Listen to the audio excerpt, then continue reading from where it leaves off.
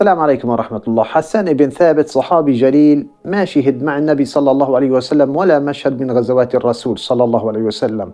ما كان السبب جبن أو خوف من حسان؟ كما يزعم البعض. بل كان السبب أنه كان كبير بالعمر. أسلم عمره فوق الستين سنة وتوفي عمره فوق المية وعشرين سنة وكان شاعر الرسول صلى الله عليه وسلم بعد إسلامه. قال له النبي صلى الله عليه وسلم يوما هاجهم وجبريل معك.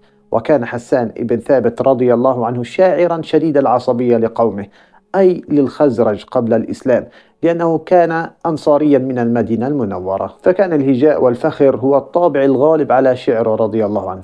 فكان يمتدح قومه على مناقبهم. يكون بالمرصاد لكل من يحاول التطاول على الخزرج. يهجه بأي شكل من الأشكال. وكان الخزرج على صراع دائم مع قبيلة الأوس. وكان للأوس شاعرا يسمى قيس. فكان يهجون بعضهم بعضا. ومثل ما كان حسان بن ثابت رضي الله عنه شاعر الخزرج قبل الإسلام أصبح شاعر للنبي صلى الله عليه وسلم. بعدين أصبح شاعر اليمنيين في الإسلام وكان شديد وقوي الهجاء. فحاز على مكانة رفيعة ليس فقط لأنه شاعر الرسول صلى الله عليه وسلم بل لأن شعره كان سبب من أسباب التي ساعدت على الحفاظ على اللغة العربية. فكان حسان بن ثابت مثله مثل باقي الشعراء في الجاهلية.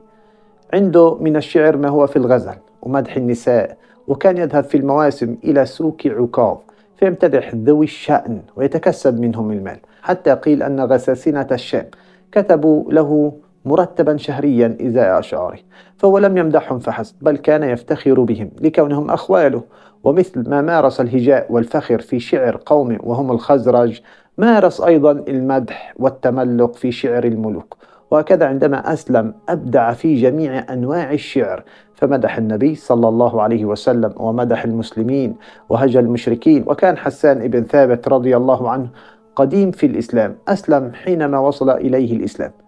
بعدين أصبح شاعر النبي صلى الله عليه وسلم. مما جعل له مكانة عند الناس. أعلى من أي شاعر إسلامي آخر.